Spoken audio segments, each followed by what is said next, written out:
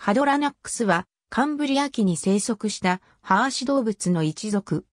シリウスパセット動物群に属するヘイドレンクス、オーガスタス一種のみが記載られており、グリーンランドの化石産地、シリウスパセットから出土した三つの不完全な化石標本のみによって知られる。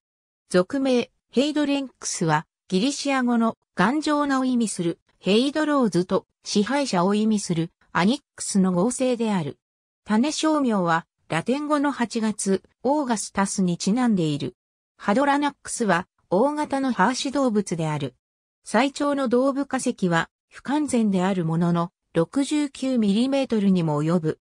全ジアンと同様な横幅と体長の比率から換算すれば、その全長はおよそ150から 160mm となる。それぞれの大切の背側には4つのコブが並んでおり、トゲは見当たらない。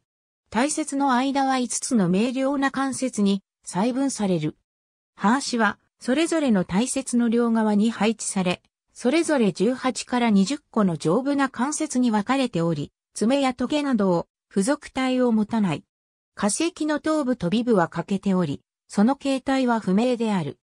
最も良好な保存状態を持つホロタイプには、上述の特徴の他にも、分岐を持った一本の細長い付属白式断片が見られており、これは頭部に備えた片側の全部付属詞の一部であったと推測される。また、大切の間の両側からには、はみ出した小さなヒレらしき構造が確認される。しかしこれらの特徴はいずれも保存状態は曖昧であり、本質は判断しにくい。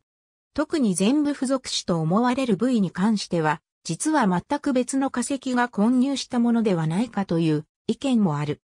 他の二つの化石標本の保存状態は紛らわしく、脱皮角の断片であったと考えられる。大型、明瞭な関節、爪のない丈夫な、ハーシなど、全面的な特徴は、全ジアンと似通っている。しかし四つのコブを持った大切という特徴は、むしろ同じく、シリウスパセット動物群に属するハーシ動物である。ケリグマケラと共通している。上記の曖昧な特徴は推測通りに全部付属詞の断片とヒレであれば、これらもケリグマケラの特徴と対応できる。多くの分岐学的知見は、ハドラナックスをシベリオン類のハーシ動物と共に、ジルド・ローボポデンスより基盤的な節足動物の初期脇道系統に属するものとみなしている。